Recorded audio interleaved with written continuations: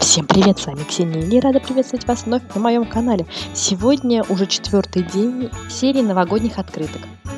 Обратили внимание, что снова сегодня Lawn Fawn, это неспроста. Я подумала, раз уж у меня на столе все равно лежит этот производитель, почему бы не сделать вторую pop-up открытку? Если вчера у нас была коробочка, то сегодня будет полноценная pop-up открытка.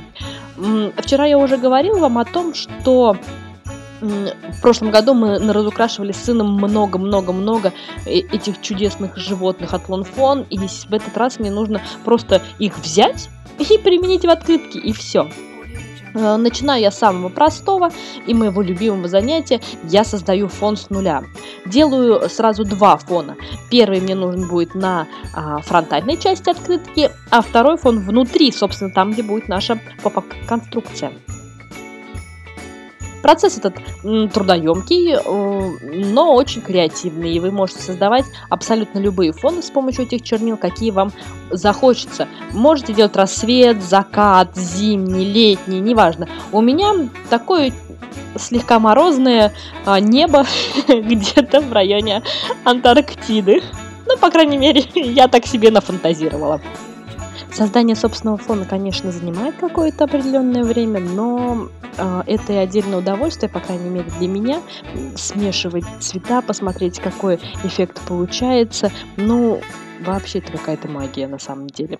В этот раз я даже не сделала заготовку для открытки, поэтому делаю здесь вместе с вами в прямом эфире. У меня мини-доска мегавальная от Марты Стюарт, по-моему, уже такие не производятся. Я ее покупала на заре своего творчества и безумно ей довольна, и абсолютно счастлива, что она у меня есть. Итак, показываю, что у меня будет панелька одна на передней части открытки и вторая панелька на внутренней части открытки.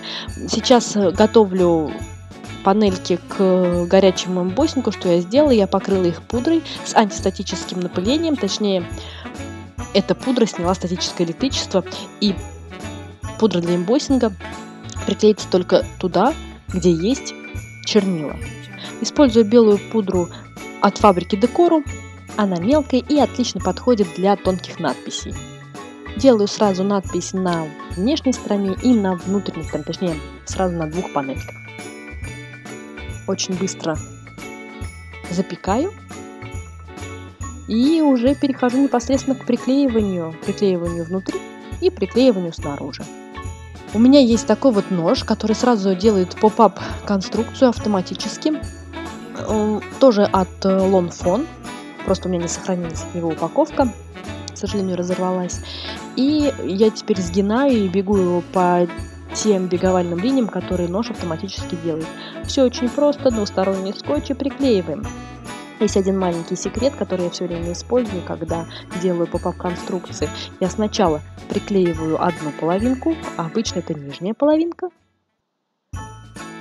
а потом складываю заготовку таким образом, как она будет в итоге, и уже э, не приклеиваю носики к второй стороне, а закрываю открытку. И тогда все приклеивается так, как нужно. А теперь моя любимая часть.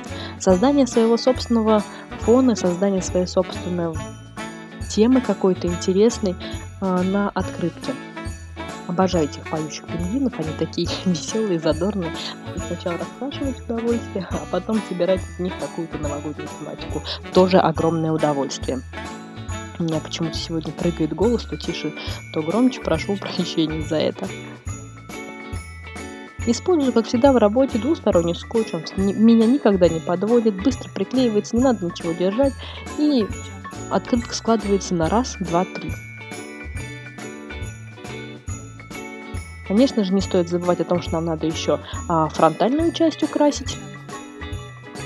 Из остатков бумаги белой делаю такой вот холмик маленький в уголочке. Соответственно, и фон у меня такой от угла, и бугорок снежный тоже угловой. Я специально так сделала, если вы еще не догадались.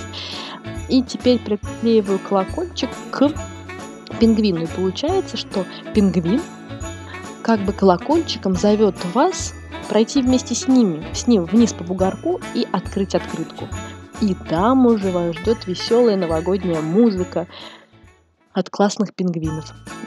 чтобы завершить открытку, чтобы она не казалась нам пустой, белой гелевой ручкой делаю точки по фону, как будто идет снег, и не забываю поставить точки прямо на пингвина, а то получится, что снег идет за ним, а в районе пингвина не идет.